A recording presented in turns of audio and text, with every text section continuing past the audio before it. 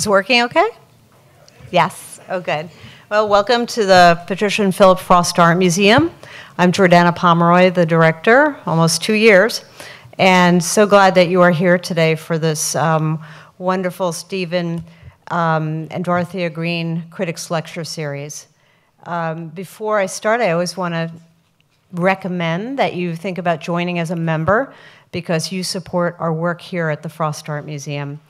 Um, uh, we are also looking forward to Basel and welcoming the installation artist Judy Pfaff on December 4th. So please make a note of that. Breakfast in the Park is open to everyone, and it's a lovely time to get to know the Frost Art Museum and to hear, uh, to hear Judy speak is going to be something very special. Um, I wish to thank Mariana Ramirez on our staff for organizing this, um, this uh, today's event so beautifully. Thank you, Mariana, as well as the rest of my staff who makes this all happen for you. Um, I want to recognize the chair of our board, Daniel Perrin, and the rest of the members of our Leadership Advisory Board who are in the audience today, um, as well as our benefactors, because once again, you do support our work here at the Frost. How do I try to tell the story of Laurie Anderson? Not only one of the world's most renowned multimedia artists, but one of the most truth seeking artists. That's the best way I could come up with that the truth seeking artist. In a short introduction, I can speak of her accomplishments and awards, which are impressive and many, including an honorary doctorate from the San Francisco Art Institute and a Guggenheim Fellowship for Creative Arts and Film. Anderson was awarded the 2007 Gish Prize for her outstanding contribution to the beauty of the world and to mankind's enjoyment and understanding of life.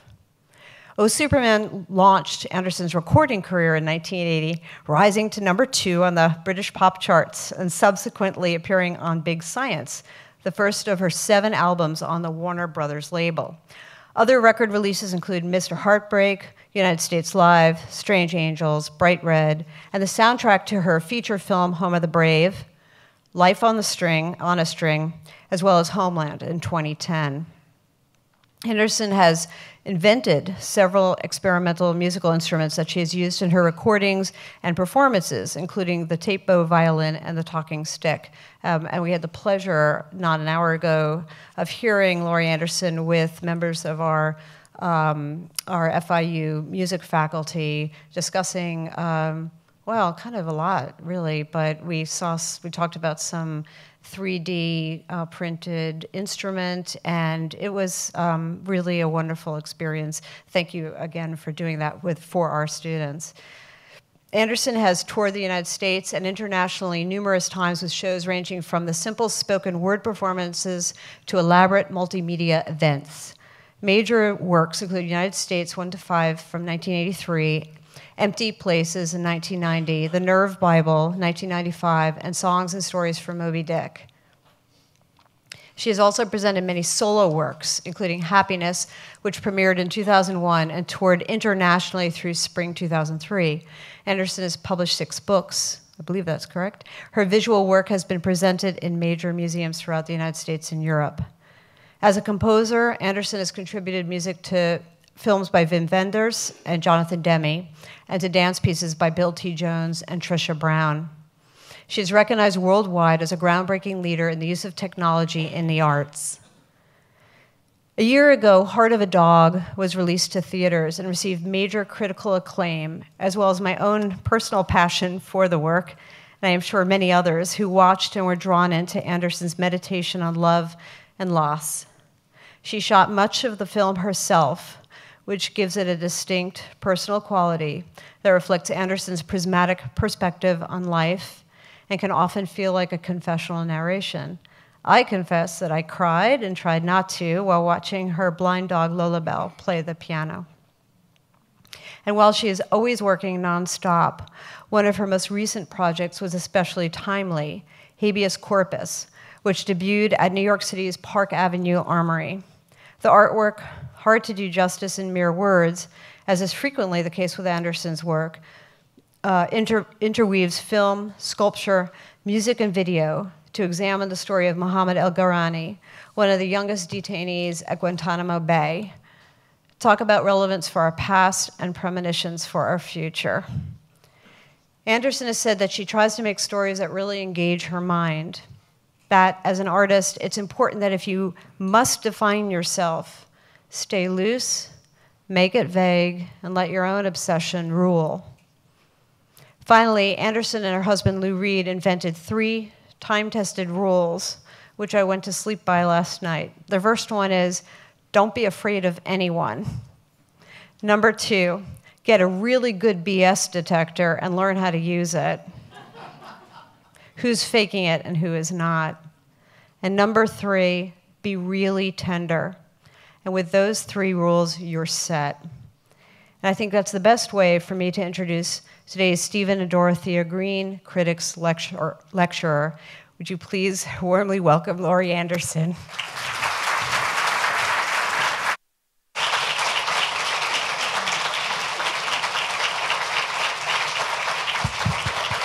Thank you so very much. Thank you so much. That was very kind of you. Uh, so uh, here we are, just another uh, day or two of the season of stories, and we'll see what happens uh, next in this. And I have to say, it's been um, uh, felt like a very long time. Uh, listening to all of these candidates with their stories about um, how they see the world as it is now, and um, their stories about uh, the way the world used to be, and, and their stories about the way the world uh, could be in the future, or, or the way it should be in the future. And uh, so we listen to all of these stories, and then, you know, we just basically vote for uh, the person whose story we like the best. Uh, the one that seems to match our own story and, and our own view of reality is the best. So now I have a kind of undeserved, really, reputation uh, as a multimedia artist, which is completely meaningless term, really. I mean, who isn't really a multimedia artist? We're all working with equipment all the time, and uh, but whether a uh, but my work, whether it's paintings or film or sculpture or uh, VR, uh, is actually stories, and it's also about the way stories work. So I want to say a few words about that today, and uh, especially as they're used to describe places. And some of the places I'll be talking about are a hospital, a church, and a lake. And I'm going to start out uh, in a nod to our elections uh, in a very flat place, the Midwest, of several uh, many years ago. Um, when I was 13, I ran for president of student council in my junior high school, and this was in Illinois. And Senator Kennedy was campaigning in the Wisconsin primaries. So I wrote a letter to him Dear Senator Kennedy, I really admire the way you're running your campaign in Wisconsin, and I'm running for president of my student council, and I, I wondered if you could just give me some advice. About two weeks later, I got a letter, and the return address was the office of Senator Jack Kennedy, and it was postmarked Washington, D.C and it was quite a long letter on U.S. Senate stationery. Dear Laurie, I'm very glad to know that you're participating in your student government. And then there was a list of suggestions about how to run a campaign with lots of bullet points. And one of the bullet points was spend time with your fellow students and find out what they want and promise it. in other words, don't just make your own plan and try to convince people that it's a good idea. Be, be an real representative, not, not an ideologue. Anyway, there are lots of other things in the letter, and it was signed sincerely, Jack Kennedy. Now, about a month later, I wrote to him again uh, Dear Senator Kennedy, uh, I'm sorry I didn't get back to you sooner. I've been very busy. 12 year olds are such punks, you know. And I've won the election, and, and, and best wishes in your own campaign. Uh, sincerely, Laurie Anderson. Uh, but anyway, the next thing that happened was was kind of amazing. Soon after that, I, a, a special delivery truck arrived at our house, and we lived out by a lake where there had never really been a special de- delivery truck, so it was a very big event. And I ran to answer the door, and a man in a uniform handed me a telegram and a package. And the telegram said, Congratulations on your election, Jack Kennedy. And inside uh, there was also a big box, a big white long box, and inside the box were 12 long stemmed red roses. And of course, this was front page news in our local newspaper, the Glen Ellyn News. A local girl receives roses from Senator Kennedy, and every woman in town fell in love with Jack. Now, last May, I played at the Kennedy Center in, uh, as part of the celebration for the 99th birthday of Kennedy. And after the show, they gave us a book of quotations of JFK, and it was this sort of size and shape of the Chairman uh, Mao quote, that same size book. And uh, it was full of uh, the most beautiful writing about um, art and poetry, and uh, these beautiful um, paragraphs about how the uh, engine and the heart of our country are art and poetry, and that's what makes our country move. So um, it was uh, it was then that I, I, I, read that, and, and as I'm thinking of that today, I, I uh, think of what a what an extraordinary uh, person this was. Now, one thing uh, before we go on with the stories about places, as I was saying, I was kind of inspired by some of the candidates to uh, try out some stand-up comedy. Because uh, you know um, the candidates like stand-up comedians they don't really have any equipment they have they have like one mic and they just walk around the stage and they which is really appealing. And they they really only have their wits to rely on uh, and usually they don't have slides or scripts or, or anything no, no props. And and usually when i do uh, work i have a lot of equipment and it's always breaking and i'm on the floor with circuit boards trying to fix it and and then talking to the on the phone to the tech guy in new york and so on. But um, on the downside of the um, comedy act i only know two jokes. So uh, I'm going to tell you the first joke right now, just get it out of the way. And so here it is.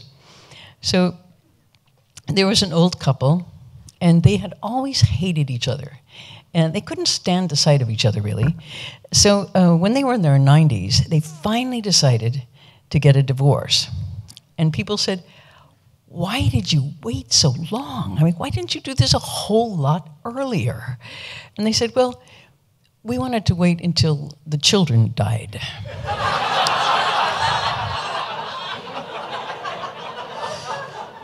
now, one more story I want to tell you before we start is, is based on the ancient play, The Birds by Aristophanes.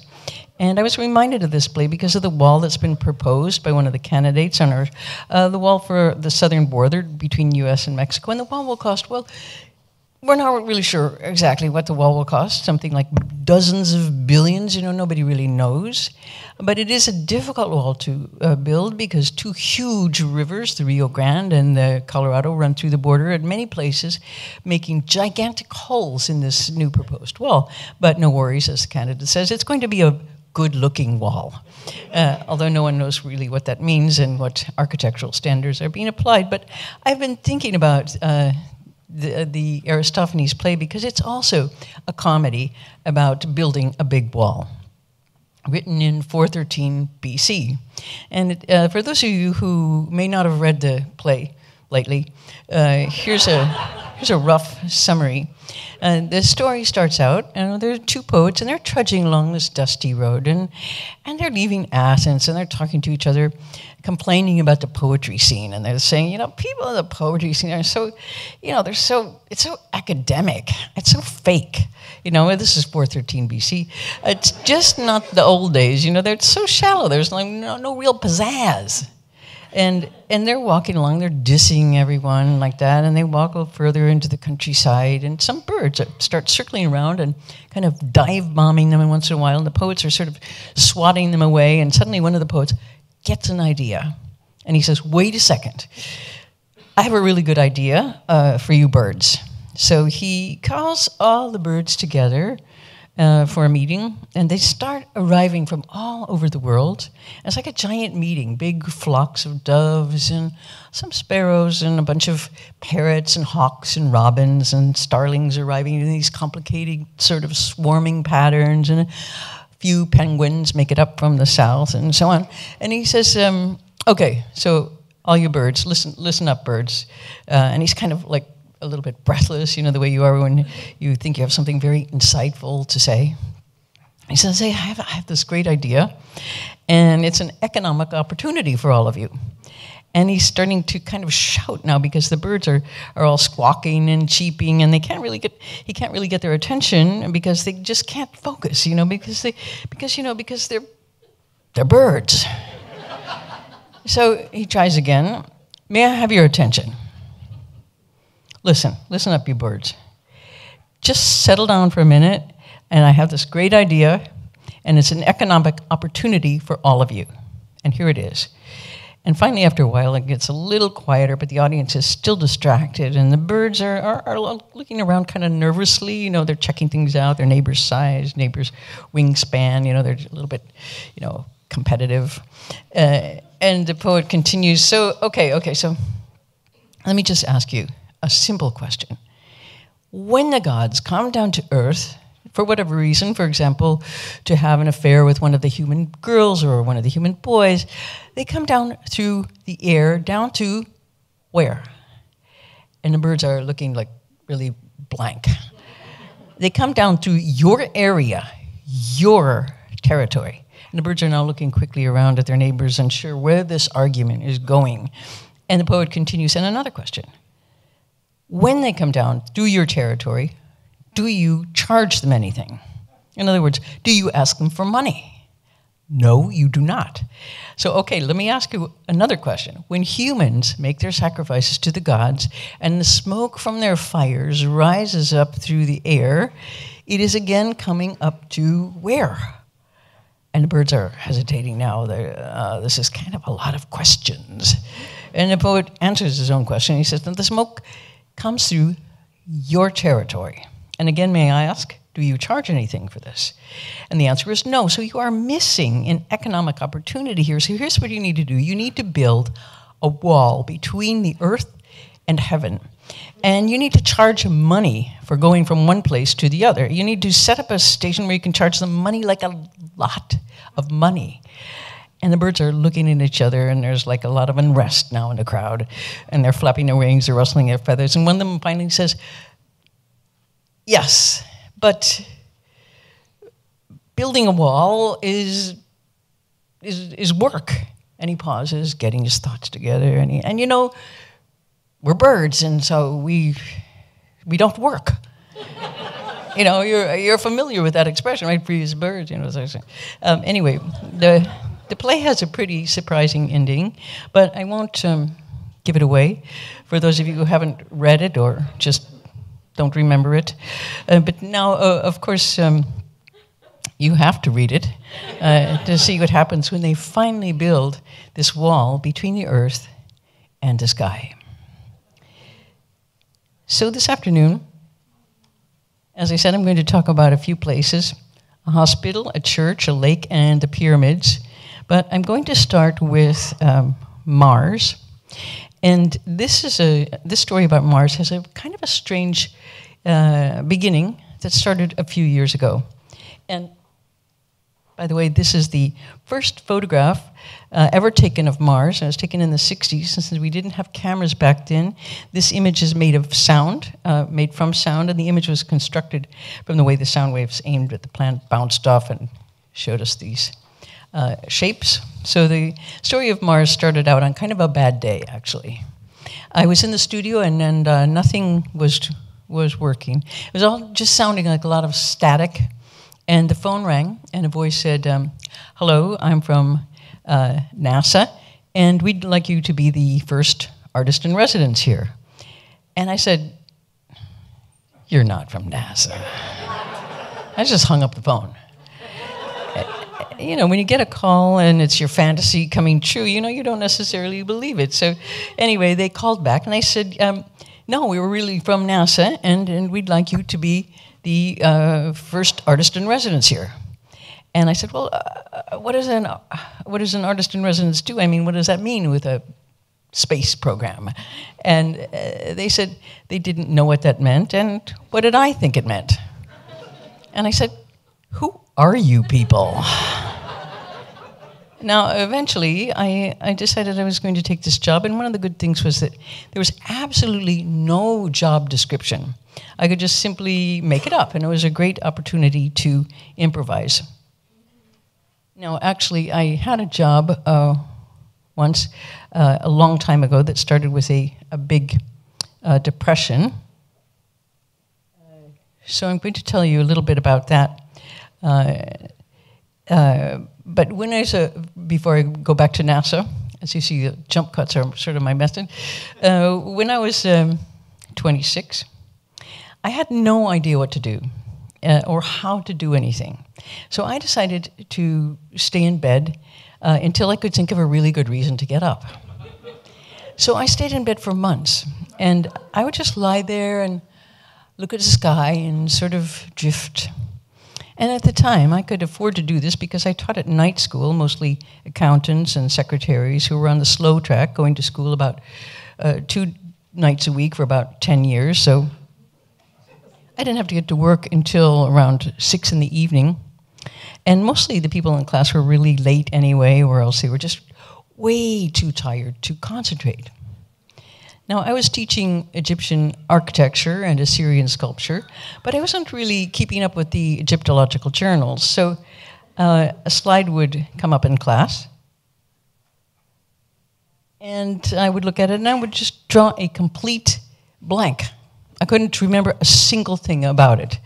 Uh, so I would just make things up about this or that pharaoh, and uh, the students would write it down, and I would test them on it. I figured so much of history is speculation anyway that it was maybe important to design theories for certain unexplainable things. You know, like, for example, uh, in some of these pyramids, there were these holes in the exterior, the size and shape of mailbox slots, and they were connected by a long shaft that ran at an odd angle down into the core of the pyramid, down into the mummy's chamber. And nobody knew why the slots and shafts were there. And so I, what I told the students was that the slots and shafts were oriented to the sun so that on only one day a year, let's say for the sake of argument, the mummy's birthday, the sun would stream down the shaft and into the inner chamber and shine into the mummy's eyes and wake him up.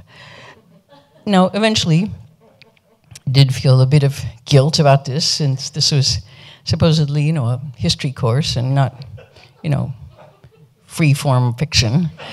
So I quit. Not before I was fired, but it was, it was very, very close. So, anyway, uh, back to this job at NASA. As I said, there was no description of this artist in residency, so I just had to make it up. And so, what I decided to do was just to be kind of like a fly on the wall. And I went around to different NASA centers Hubble Space Telescope in Baltimore and Mission Control in Houston and Jet Propulsion Lab in Pasadena. And I met a lot of people uh, robotics engineers and astronauts and designers and mathematicians and dreamers and nanotechnologists and people I, I would never meet in the art world. And one of the things I learned was that artists and scientists have a lot more in common than I thought because scientists don't know what they're looking for either. But we work in very, very similar ways. Uh, we get a hunch, and then we make something, and, and then we think, what is this? What, what does this do? And we have to figure out some way, uh, you know, to use it, or at least somewhere to, you know, put it. Uh, and then we have the same question as well. How do you know when you're done? And in order to know when you're, when you're done, you need to know what you're making. So anyway, I'm wandering around NASA with my artist in residence laminated badge with a cartoon rocket on it, and nobody's really interested in talking to me. And basically, not one single person asked what I was doing there, or or said, "Artist in residence, do we even have one?" I said, and I did not take this personally because you know since they were really working incredibly hard, you'll be glad to know, and there are constant deadlines, and it's you know like the government at work, and the people uh, who did have time on their hands were the nanotechnologists. And they were the most kind of theoretical ones. And we often talked about uh, how you know when you're, when you're finished. And they would often cite Einstein, on this point and said that Einstein rejected some of his most well known theories. Why? Because he said they weren't beautiful. What, what does that mean? You know, what, what, what exactly was Einstein looking at, and what was beauty to him? And uh, what, did, what did that mean? Was it symmetry, for example? Did it have to be symmetrical to be beautiful, perhaps, uh, to be therefore true? No, or uh, anyway, but why symmetry? Because uh, we have two arms, two legs, a bicameral brain. I mean, what is it about this, these, this twinning thing that makes it uh, more beautiful, more meaningful? Uh, uh, this moon, June, two things balancing, why does that make it better? And you know, you take this same idea to Japan, and it seems a bit, you know, idiotic. You know, for example, uh, take haiku. There, these are poems that do not compare one thing to another. They don't use this system of rhyming or comparing or doubling uh, or the thing and its meaning. Uh, that's just not where they get their energy and that there's this, uh, uh, they just have a single thing. For example, a typical haiku would be spring morning, a thaw, the puppeteer coughs. That's it. That's the poem. Um, anyway, making art at NASA was sort of preposterous, really, because they are already making um, giant art projects. Uh, like, for example, the Stairway to Space, which is, and, and the, the idea of this is to put a series of stacked elevators in the middle of the Pacific, uh, because the most expensive thing about uh, space travel is the blast off and this huge explosion you have to, to do to make things get off the ground to get above gravity. So the idea is to build these platforms and to hoist the rockets up these stairs, like a series of, of um, platforms and elevators. And then when you get to the top platform, you just simply drive off.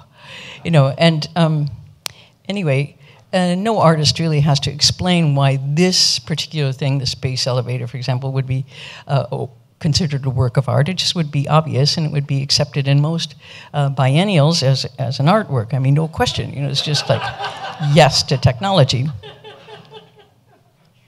Now, I also spent uh, a lot of time at Hubble headquarters in Baltimore, and I got to talk to the people who were interpreting the data from the telescope and then making images from these numbers. And I have to, uh, and I had been looking at a lot of a very spectacular series of NASA photographs called Stars Being Born in Outer Space. You probably know some of these. And uh, these looked like these towers and mounds of fluffy cumulus clouds, sort of, and pink and blue sunset skies behind them. They were basically, you know, the colors of, of um, a, a Tiepolo painting and you can almost see the little cupids darting out from behind the clouds, you know, shooting their arrows and maybe some sort of Disney shooting stars in the back. You know, you can make a wish on it. So I said, you know, so how did you get these colors since, you know, there, there's no actual color in outer space, um, and it's uh, like at all. And at first they said things like, um, kind of dodgy things like, uh, well, yes, every picture in some way is an interpretation. And, and I said, but could you have used a whole different color range? Interpreted that baby blue as gray and maybe that pink is like a brownish purple. I mean, how did you arrive at these colors? And, and finally, I, I found the guy who did it, and he said, Well, we thought people would like them. And I said, You thought people would like them? Wait a second, I, I'm the artist in residence here and, by the way, I mean, you know, don't you think this kind of decorative approach you're, you're using could kind of, kind of like a little bit fool people, you know? I mean, they might get the wrong idea about what's going on out there. You know, I mean, this looks like a Tiepolo painting. It looks like exactly like a painting of, you know, of, of, of heaven.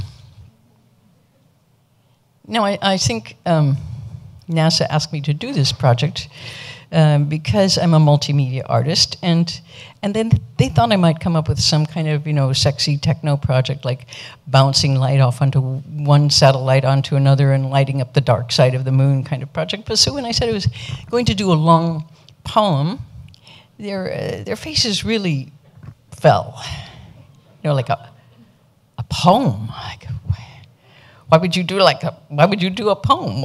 You know, uh, which, which, got me thinking, I have to say. And, and, and anyway, another big NASA project uh, was a lot like that was a lot like an art project was the greening of Mars. And uh, I walked into a big room at NASA that actually had a huge uh, whiteboard that went all the way around the room. And on the board was a timeline, the outline for the greening of Mars which has a 10,000 year timeline. And the idea is to add air and plants and water to Mars to make it inhabitable by the time we uh, get there in the distant future.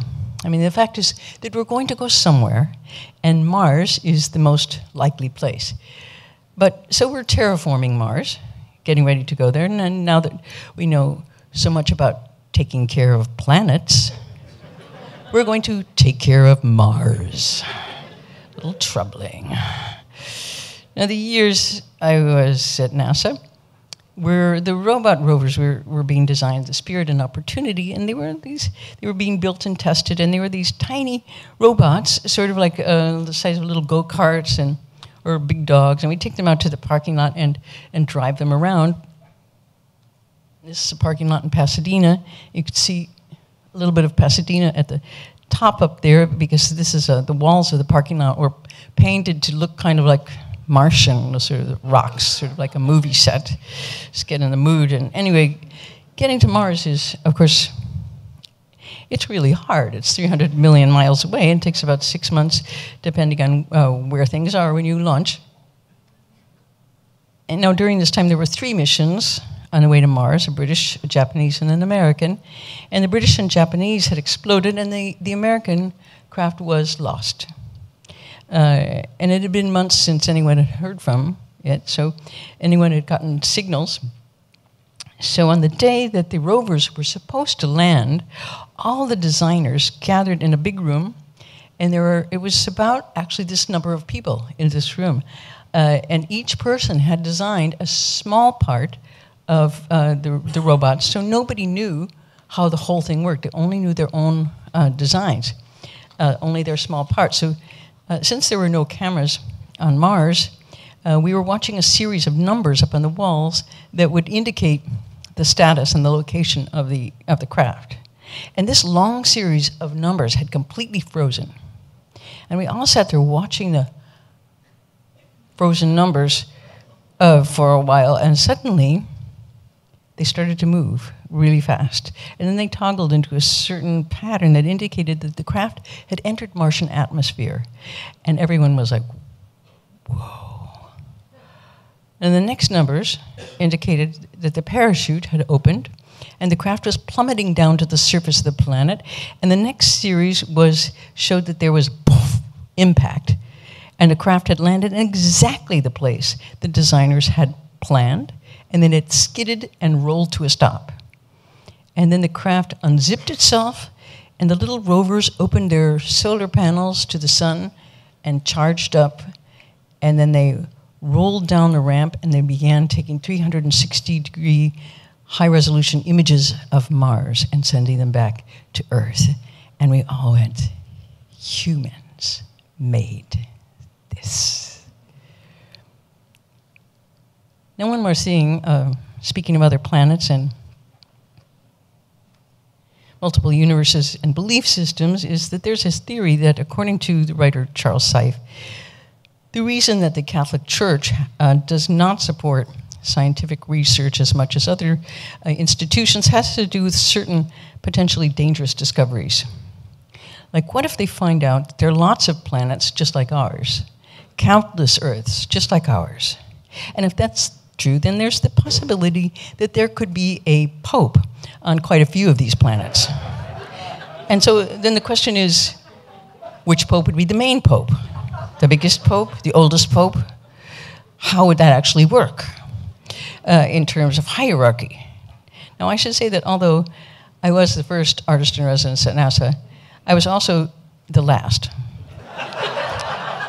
and there uh, was one of these whistleblowing senators And uh, he's looking at the NASA budget, and uh, you know, Congress and NASA are like traditional enemies. It's like the never ending battle between the jocks and the eggheads, and they, they just can't stand each other. Uh, so the senator is reviewing the NASA budget, and he's going, huh, yeah, the three trillion for spy satellites. Excellent. A few billion for the new drone heat seeking research. Tip top. And wait, wait a second, there's $20,000 for an artist in residence? This is outrageous. What is the government doing supporting the arts? This is ridiculous. Now, I, so it was canceled. Anyway, I've been trying to reestablish this program, uh, not for myself, but to continue this for someone else, because I, I, really think that, that artists have a different way of, of seeing the world, and I think that there should be an artist in residence um, in NASA, and I think there should be an artist in residence in the White House, and artist in residence Supreme Court, artist in residence in Congress. You know, there's a Department of Defense, you know, health and welfare. Why not a Department of Art? You know, so anyway, it's one thing that I would like you young artists to, to work on. Um, now, one more thing about um, art and technology uh, before we uh, continue, and that is something that I, I brought along and like to play for you.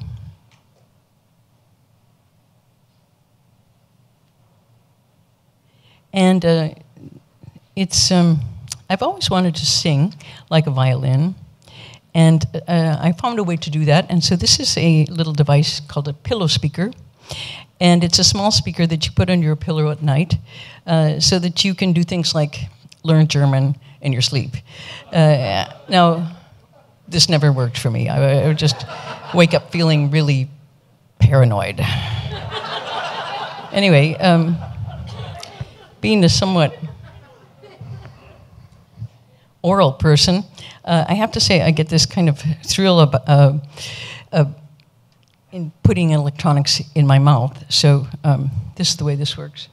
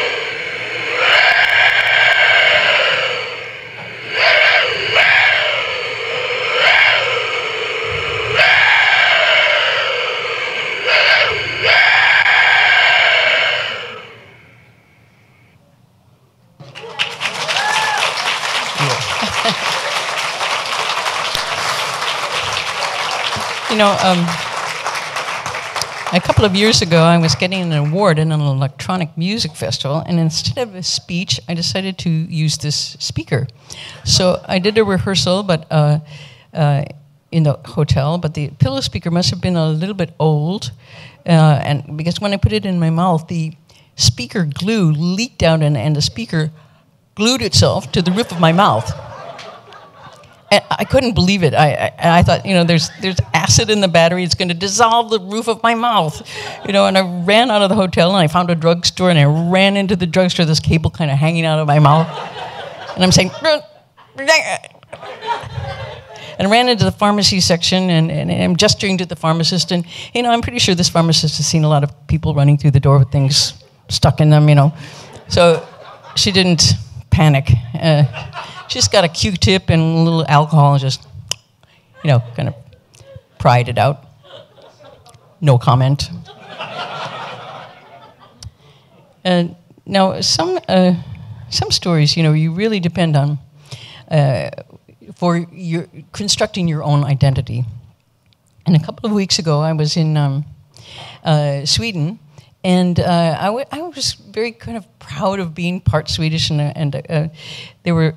I was telling some um, a story about my my grandfather, uh, who had always told us that he had um, come from Sweden when he was eight by himself, and started a horse business when he was nine and gotten married when he was 10 in Chicago. Everyone was like, eh, you know, and, um, uh, and I always thought, oh, well, that's such a romantic story, but probably hiding another story that's probably darker story, like he's a runaway or, you know, some, you know, uh, maybe an orphan or just came back. Why would you make up this story about yourself that was so bizarre? And then uh, the, there was a Swedish TV show uh, last month that said well, we can get information about your your um, your relatives, the the real story. And in the meantime, I found out from one of my own relatives something that I could have found out many years ago, was that this story was completely um, uh, fictitious, and he had just made it up. Uh, trying to make, I guess, himself a little bit more interesting because he really came uh, as a, as a one year old with his mom and dad to Minnesota, where they worked in the mines and started a new life. So, anyway, um, one of the things that um, I've kind of depended on in, is, is these, these interesting myths. Uh, and also, another one is this kind of story of this sort of sturdy industriousness of being Swedish. And our church was called the uh, Swedish Evangelical Mission Covenant Church, and it was basically like a it was a coffee church. You know, we'd we'd listen uh, to the sermon, and then we'd go down to the fellowship room uh, afterwards and get really wired on coffee. You know, and the sermons themselves were just actually really some pretty sensible advice about you know being kind to your neighbors, uh, being reasonable, and the rewards that you would immediately get if, if, if, acting that way, as well as a lot of stories that, that Jesus told about wise men and poor men and what to do in certain situations, and really just, you know, how to look at the world, just very, very practical things. Uh, now, later, when I began going to Italy, I looked at a lot of, of paintings and sculptures of Jesus, and they all looked so uh, unfamiliar. And in these paintings, he was never shown talking or gesturing or teaching. He was almost always pictured as a little baby being held by his mother, or else he was dead in her arms. Either way, he was not saying a thing.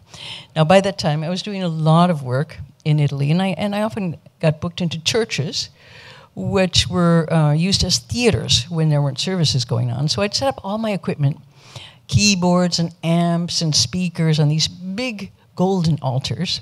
And it was really eerie doing these shows, knowing that right behind me the whole time was an enormous, well lit plaster cast of the crucifixion.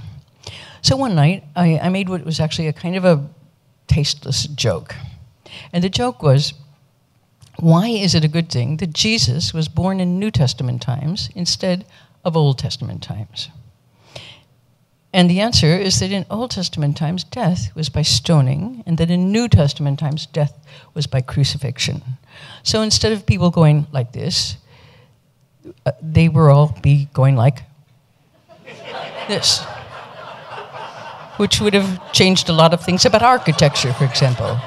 You know, the buildings would be just not the cross-shaped ground plans; they'd be sort of strewn all over, like much, much more abstract. Now, I try very hard not to be sentimental, but uh, remembering things is also forgetting things. And, and I uh, did a, a film, as was mentioned in the introduction, uh, called Heart of a Dog, and, and one of the stories uh, was uh, about a story. This, this film was uh, commissioned by uh, Arte TV, which is a French German channel, and they asked me to do a film about why do you make art? And I was like. This is a no, sort of no budget series, and usually the artist gets a camera, trains it at a candle for 25 minutes, and does a long voiceover, and you just see the candle flickering, and you hear Baudrillard, Lacan, you know, so on. And I like this kind of art film. I'm a sucker for it. I really love listening to this um, theoretical uh, uh, um, rambling. And um, it's uh, so also, I think, uh, but it was an odd project because I think they just forgot that they had commissioned this film because they never called me say how's the film going? No I, I, never it was so i got to finish it like a hobby you know and just work on it whenever i felt like a little bit and then it doesn't really matter if i finished or not. So i highly recommend this uh, attitude towards doing things if you can possibly arrange it because it's so much better than the time's running out. What's the film about? You know, when are we getting it? And we got to get it out. So, anyway, um, the the film uh, turned out to be a lot about um, various uh, ways that uh, memory works, really, and it's. Um,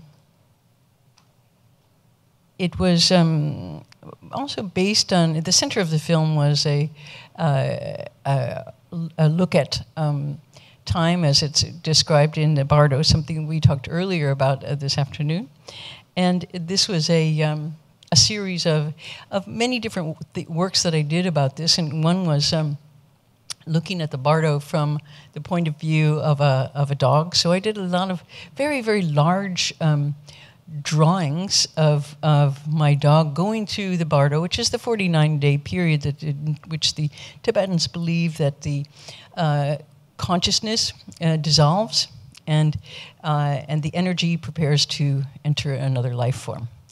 And much of, uh, of it is an investigation of the senses, so it's very interesting for musicians and uh, artists to read about as, as um, the importance of, of hearing, for example, which the Tibetan Buddhists really um, emphasize in terms of hearing being the last sense to go as you, as you die, so that uh, when the eyes go out, when it gets dark and your heart uh, flatline, uh, your heart stops and your brain flatlines, the the hammers in the ears they believe are still working. So they believe that you should shout instructions about what to do uh, uh, and use that last sense that's holding on. So they, they yell into the dying person's ear, You're dead. You're dead now. You will see two lights. Do not go to the near one, go to the far away. They give very clear instructions as you move through this 49 day period uh, and, and things begin to happen. So I was very fascinated with, with their description of uh, the dissolution of the of consciousness. So uh, I showed it through a dog's pers- perspective, and these were a series of very big paintings that were um, 11 by 14 feet, just charcoal drawings of um, my dog going to um, the Bardo. And, whoops, that's not what we want to see. Here we go. Um, let's see. Let's go to the next one.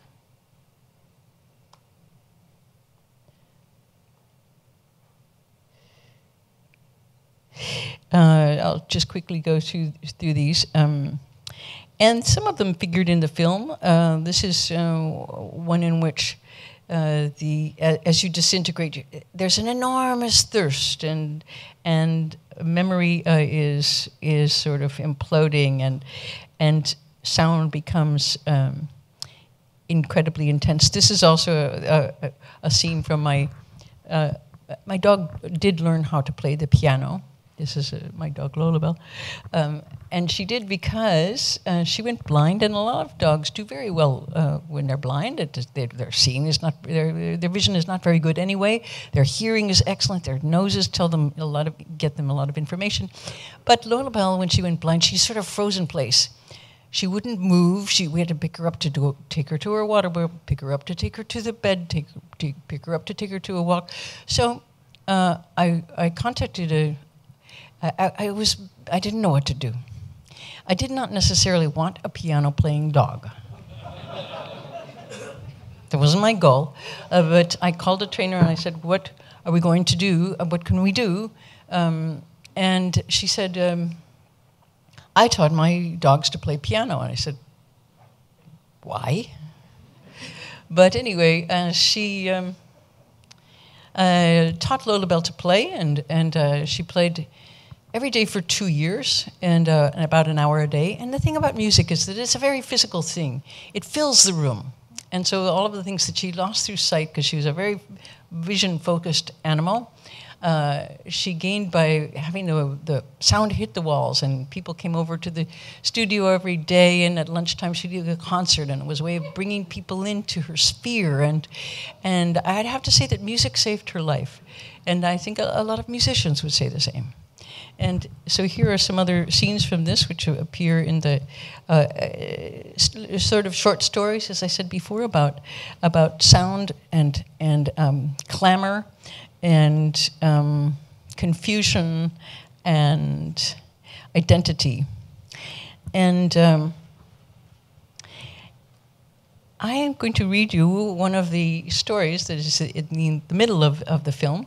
And it's a, a thing called A Story About a Story. And then uh, we are going to move into the Q&A part of, of the afternoon, which will be 10 to 15 minutes um, of talking about whatever you would like. Uh, so, this is the story that is in the middle and is called A Story About a Story.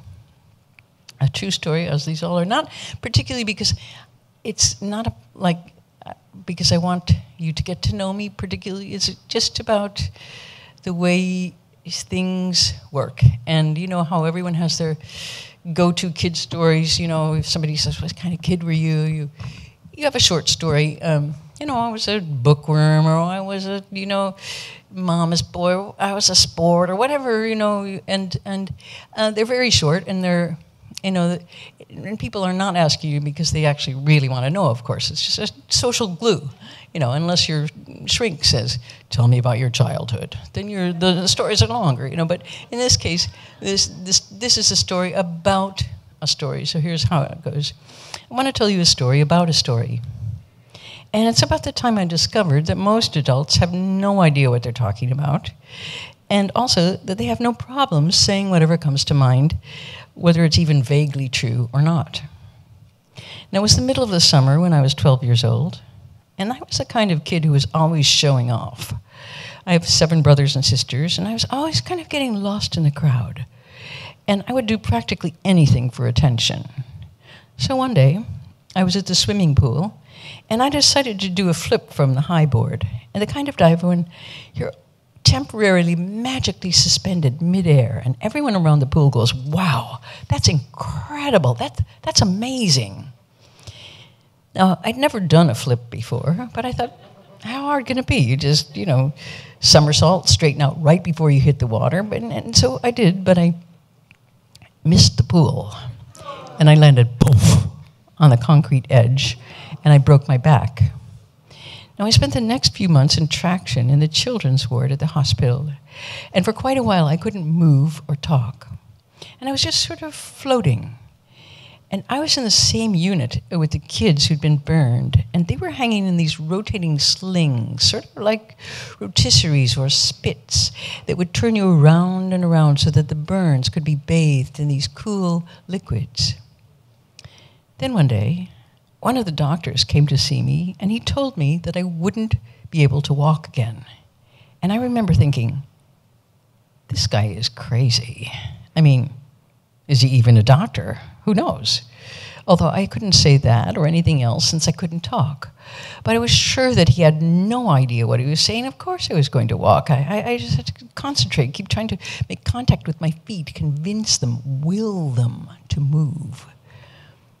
Now, the worst thing about this was the volunteers who came every afternoon to read to me, and they'd lean over the bed and they'd say, Hello, Laurie, really enunciating each word as if I'd also gone deaf. And they would open the book. So, where were we? Oh, yes. The gray rabbit was hopping down the road, and guess where he went?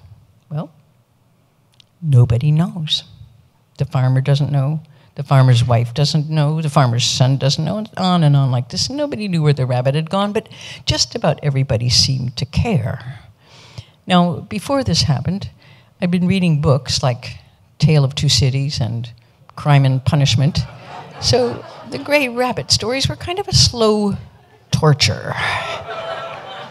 Anyway, eventually I did get on my feet, and then for two years I wore a huge metal brace, and I was kind of a Frankenstein design. And I was basically a, a freak. And I got very obsessed with John F. Kennedy, as you know, because he had back problems too, and he was the president. Now, much later in my life, when someone would ask what my childhood was like, sometimes I would tell them this story about the hospital. And it was a short way of telling them certain things about myself. How I had learned not to trust certain people, and how horrible it was to listen to long, pointless stories like the one about the gray rabbit. But there was always something weird about telling this story that, that made me very uneasy like something was missing.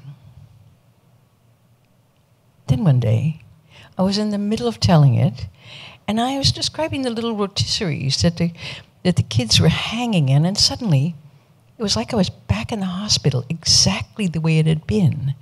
And I remembered the missing part.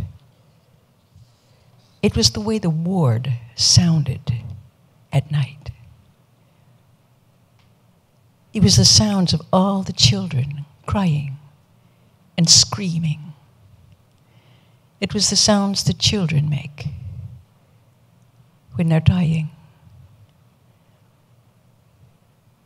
And then I remembered the rest of it the heavy smell of medicine, the smell of burned skin. How afraid I was. And the way some of the beds would be empty in the morning, and the way the nurses would never talk about what had happened to these kids. They would just keep going on making up the beds and cleaning up around the ward. And so the thing about this story was that actually I'd only told the part about myself, and I'd forgotten the rest of it. I'd cleaned it up just the way the nurses had. And that's what I think is the creepiest thing about stories. You try to get to the point you're making, usually something about yourself or something you learned, and you get your story and you hold on to it. And every time you tell it, you forget it more.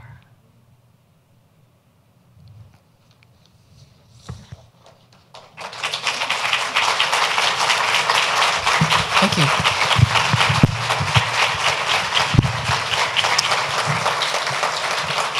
And now,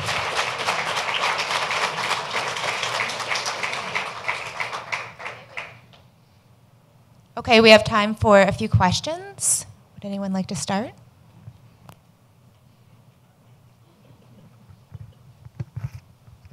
Hi.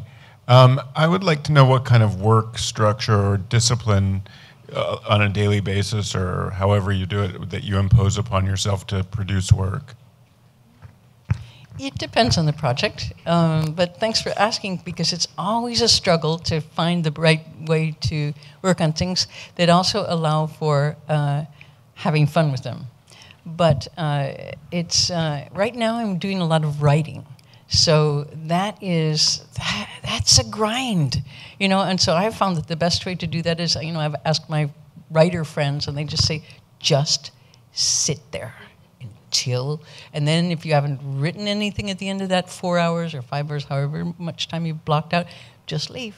So that's hard for me because I'm kind of a hands-on person. I, I began my training was as, as a sculptor, and so I like to to make stuff. So uh, it's hard to not start, you know, tearing the paper up and making little diagrams of things, and rather than so uh, it's. Um, uh, I think it's a combination of trying to to um, have uh, enough room so that you can have a, a, good time, but also so that you have enough time to actually uh, um, uh, practice it and try to, to make something. So, Okay, great. We have another question. Hi. Um, so I watched um, Heart of a Dog last week on HBO, and it was it was really nice in the midst of all this screaming that's going on. Uh, so I wanted to see if you would say a little bit about uh, Lolabelle's revelation. Uh, you know, at this time when everybody wants things to get back to normal and this election to be over. And the other, the other thing was um, the point that you made uh, in, in the film where your teacher, your, your teacher said um, you have to try to um, feel sad without being sad. That's really different than a Christian perspective where the actual suffering is important. So could you address those things? Sure. Um, well, first of all, so uh, the um, question you had about Lolabelle, and, and I, I guess it was just, uh, I- suppose, in a way, things I'd learned from her. Uh, uh, for one thing, I mean, one thing I, I learned from Lolabelle was how to, to be old.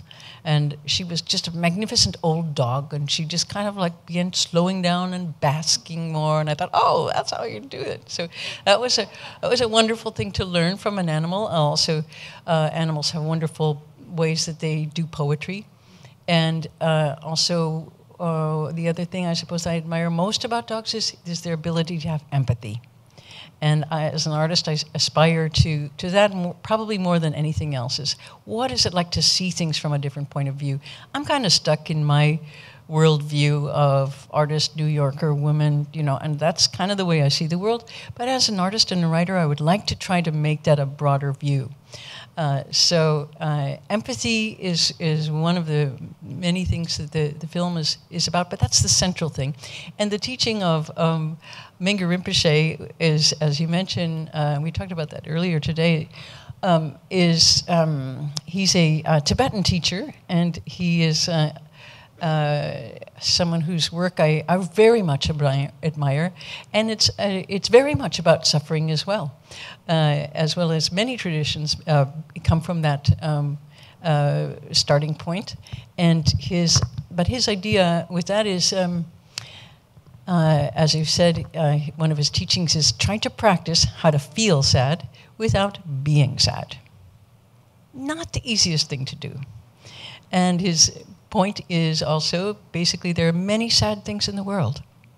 And if you push them away, if you pretend that they're not there, you're an idiot. They are there and they will just, they'll get you. And so, what his teaching is because you understand them and can hold them, doesn't mean you need to become them. He was voted the happiest man in the world. I know, you didn't know that that was a position. But the University of Madison, Wisconsin has a neurological department that measures, let's call it equilibrium. Happiness, happiness, let's say, the ability to, to be here and hold difficult things, joy and happiness, as well as suffering and pain. And, and without becoming all of those things. So uh, this is, is the teaching that I, I really uh, uh, like very much because uh, in, in certain ways, of course, we're, we're born with a, a lot of characteristics. We, we inherit them from our, our parents too, but a lot, a lot of these things we can also decide. And when I talk to young artists, I often talk about this because, you know, uh, for one thing, you know, they, uh, they think, well, you know, let's take it from the point of view of like, I can't call myself an artist because artists are like Van Gogh. Um, how could I call myself an artist? And, and I have to say, you know, uh, I hate to tell you this, but not that many people care what you call yourself. Think about it. You know, they care about you. You care about uh, that as much as, is as they care about what what you call yourself. Knock yourself out. Call yourself anything. You know, it's okay. Um, but it it becomes a way of designing your own uh, view of the world as well. And I think artists are, are very good at that uh, uh, as well. So that, here's another example. Let's say something happens to you and you really want to scream. You just want to, ah, ah. But you say, you know, I'm not the kind of person who would scream. I'm just not a screamer. I don't scream. But the problem is you still want to scream. So I see that in essentially as a kind of design problem that you have to then go back into the, your personality design that you made largely. Okay, your parents shaped it, but you did all the you know wood paneling on that stuff you know? It's like you finished it off. Uh, so go back in and make that design a little bit bigger so that you can scream if you feel like screaming you know? So anyway uh, that's um, I suppose one of the things that uh, I, I, think that the Tibetan teachers and, and many teachers in many, many traditions uh, try to, we were talking earlier too about F. Scott Fitzgerald, who gave some advice to young writers, and he said, try to imagine you're holding two things. They are one in each hand. They are both absolutely true and absolutely the opposite of each other. And try to hold them both without going crazy. That's what it is to be a human being. You know, you don't have to average them out and water them down and make that. You can hold them both without going crazy. So there, there, there's a lot of conflict in the world, a lot of things that, that seem to be the opposite. And they happen also, they're all connected to stories that are, are true from that point of view. I think we've seen that in the election. They're true from those points of view. So the person who's telling the is who's the narrator is from their best uh, vantage point trying to tell their story. And you have to respect that. You have to respect that, that, that they're not just making it up from somewhere. It's a story that they're telling. And that there are many many we live in just a, a, a world of refracted light that uh, we have all sorts of different experiences.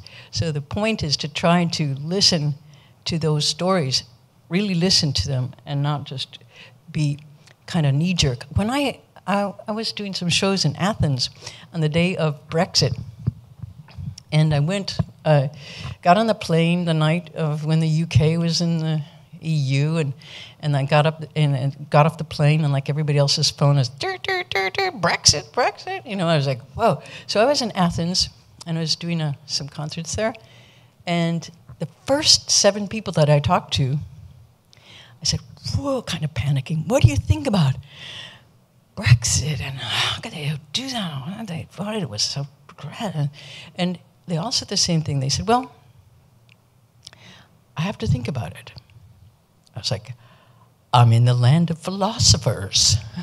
you know, this is incredible. I have to think about it. not just some kind of like you know, twittery knee jerk thing that just it's bad, it's good, it's you know, label it right away. Just you know, don't only see it from your point of view.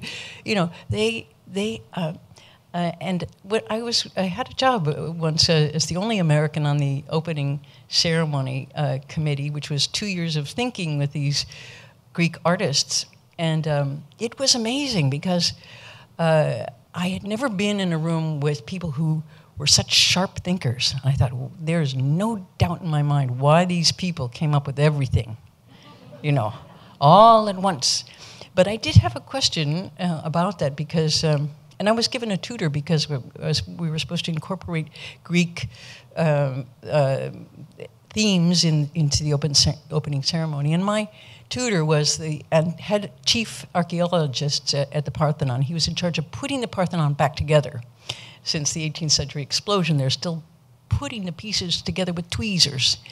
And I had this question, and I, and it seemed like a naive question. I was very afraid to ask it, uh, but he seemed like this guy. You know, uh, I thought he would be able to answer mainly because he looked pretty much exactly like Plato.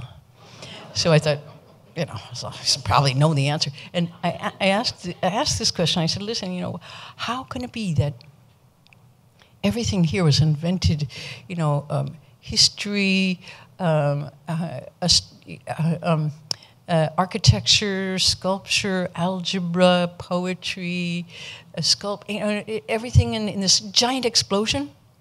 It just, and, and what happened? I mean, why aren't we a thousand times smarter now? Why didn't we just keep building and building and building on this? And what happened here? And he said, okay, I'll tell you. I was like, really? You know the answer? he said, well, yeah.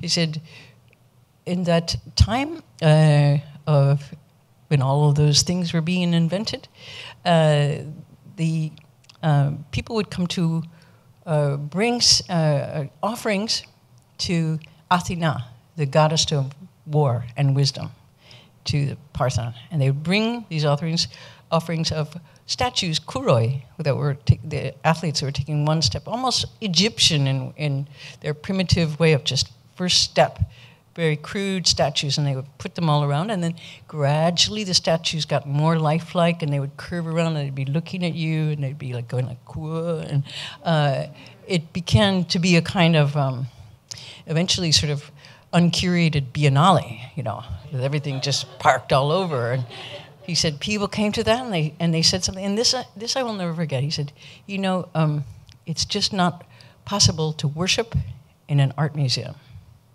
I was like, whoa. Now that's sunk into my brain, and I'm still processing that many years later. Is it possible to worship in an art museum? What are you worshiping? You know, what, what are you look, what are you looking for? And so anyway, um, and I thought, how is it possible that belief systems trump the uh, need to know? And then I thought, wait a second. You know, I, I live in a country where where uh, what we believe in is primary. You know, and that's supposed to be even more important than what we learn by investigating what's really happening. So what we just gut believe, you know. So anyway, uh, let's take another question or a comment. Could be. Uh, yes. Comment. Yes.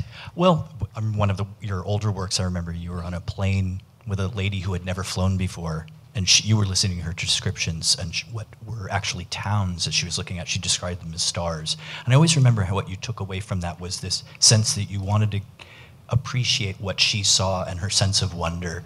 And I, and I wanted to connect that to your awareness and your sense of inspiration, how would, you would describe how inspiration strikes you. Well, um, yeah, perspective is, is uh, a, a big thing for me. And that's one of the reasons that I, I'm very interested in um, virtual reality is that, that, your ability to change your point of view like that, you know, and in a very convincing way is really exciting to me. So any kind of art form that lets you be free, basically, you know, to uh, jump out of your own mindset, you know, and see things from and even just another. That's why I also use the dynamics of conversation and duet off, often. In, in I'm a, a, an artist who's got stuck in some sort of monologue situation, so I try to put, uh, when I can, the dynamics of, of two in, uh, into, into the work, and because it gives it a little more energy of just back and forth, and, and, uh, and it's a, I'm also a, um, uh, very interested in, in martial arts, and uh, one of the things about that is, uh, of course, the, is the duality of, of those uh, of yin and yang, and, and the push and pull of, of things, and working with basically, I mean, well, you know a lot of the moves, and I'm sure some of you are, are studying martial arts as well, and you know that some of these beautiful moves, like this one, you know, you see, do uh, um, people um, in the park, you know, what is that that thing? Well, that that's decapitation. it's a martial art, you know. so you know, but it, it's one that that is um, with the absent partner. You know, you're always all of these things have applications. So that if you're doing this, it really is, or this, which you think is a beautiful yin yang thing, is uh, basically twisting someone's head off, and then you kick it away this way like a soccer move. I'm like, Another question? Sure. One more from the back, maybe. Is any questions back here? All right, we'll come around this way.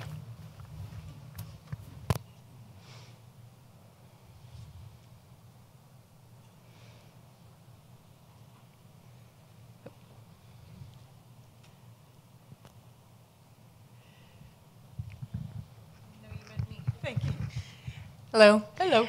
Um, I was curious about the pillow speaker, actually. I hadn't seen one of those in many years. I used to work in talking books, and I believe a couple of our patrons um, had those. And so I was curious about what, um, I guess, what drew you to it as a musical instrument? What what brought you to that, or was it just something you decided to pop in your mouth one day and, Well, and there's a couple- experiment with? Yeah, there's a couple of things. One is um, one is sleep and sleeplessness and stories. And uh, I, I originally uh, got the, also they're cheap. I love cheap stuff, and I live on Canal Street in New York, and, and they have they used to have it was used to be the best electronics place in the in the city, and so I'd just go and get cheap electronics and try to fix it and do stuff with it. So the cheap part was was appealing.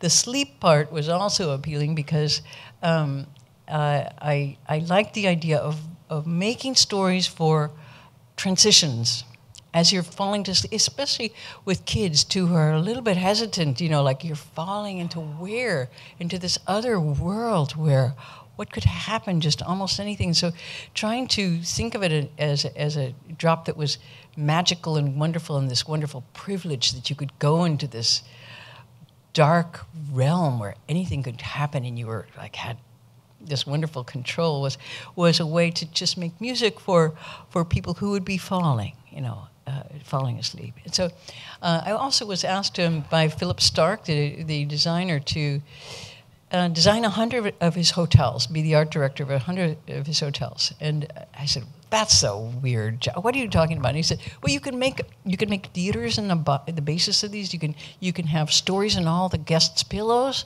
You can have." Um, do video in the elevators, you can do books, you can do whatever. And I said, Whoa, that sounds, you know, it was such a bizarre left field thing, but I'm interested in these kind of things because he'd also, he started by saying, First of all, I want you to make one of my lobbies sound bigger. I was like, Okay.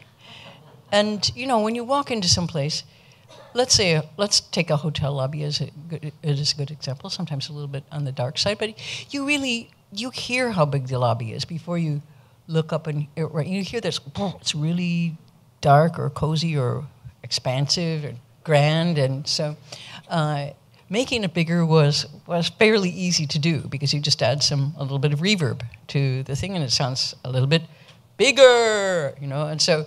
Um, anyway, from that, he said, okay, now I want you to design 100 hotels. And I said, you're not serious. And he said, I am. I said, okay, then my fee is going to be 100 of my friends will be able to stay in any of your hotels for as long as they like for the rest of their lives. And he said, agreed. I was like, oh, whoa. Whoa. so I, I did. I actually did this for a couple of weeks, and I realized that before that, I realized that I would have to give up absolutely everything, um, not just my uh, work, but my private life, everything, because it's just it's like it's like sometimes working on a film score. You know, if I'm uh, films, uh, you know, the last thing that they they they always run out of money by the time they do the the soundtrack, so they they ask you to do the soundtrack, and you're even before you've said yes, you're over budget and you're late. And so I said, wait, man, I just haven't even said yes to this yet. I can't be over budget. I said, no, you're over budget already. I was like, wow, this is crazy. So I did not uh, take that job in the end. But um, uh, is there one last question? Because I know that we're uh, way over time. All right, time. one last question, and then we'll wrap up. Thank you so much for sharing your extraordinary gift. Uh, my question is about um, y- young children. So I have this these new grandchildren, and one of them is four years old, and she shows an amazing gift from really not talking till she's almost four to telling stories. Long, you know. So I wondered if you thought there was a way to encourage storytelling or guide it, or just let it be. Well, I, I think it's it's. Um, I'm not an expert on this at all, but I would say that uh, that um, appreciating uh, a, a little kid's uh, stories is a, a really good first way to go, like listening to them. Um, they re- they are tapped into some pretty crazy things. You know, they're really like uh, I can say uh, they're they're pretty free, and uh, so I think um, appreciating that, and then and then reciprocating also, and just becoming being part of the game, because it's it's a uh, uh, it, it's a language is a uh, it, is a game and it's when it's done really you know if you're finding a, a, a, partner who you can really talk with and you know what that feels like it's just the greatest tennis match. Bam, bam, bam, bam. it's really can be great. And I, and I think if children learn that early that it's fun to talk and that they're allowed to talk uh, it, it's um, it's a really uh, uh, a great thing. And, and but I also think um, there are just so many uh, voices that we have that it, it's important to to encourage children to find find theirs and not just adopt one that's around. So, and as I was trying to to, to tell you in the in this story about um, that I was reading to you a story about a story, we're all narrators of our lives. And we're maybe not the best narrators in a certain way. You know, I, I told, we tell, basically, the thing is, we tell the stories that we can tell. And so the, when you tell a story about yourself, as I'm telling the story of my 12 year old self in a hospital, um, uh, I was not really able to tell a story uh, that was about children and the sound of them dying. I could not tell. Uh, there was not something a, a, child like that can, even 12, can articulate. I couldn't tell the story that my family didn't come and see me in the hospital. I couldn't, you know, there's the things you just can't say. And adults in, in the end are kind of idiots if they put all the children together and children are like tuned into each other and what's going on. They know exactly what's going on if, if that kind of screaming is happening.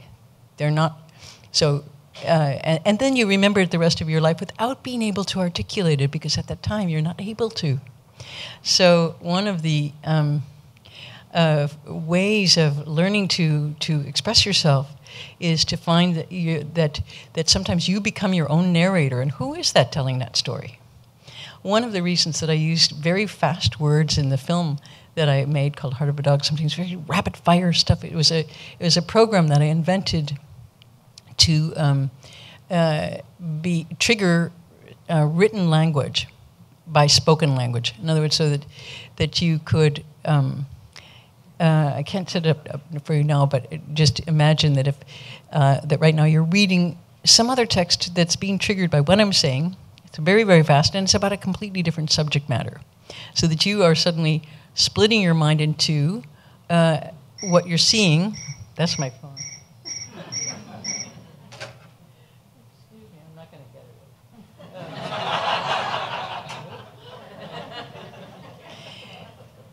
Splitting your mind and what you're seeing and what you're hearing, which we do all the time. You're having a conversation with someone and you're going, why is her hair like that? But you're meanwhile, you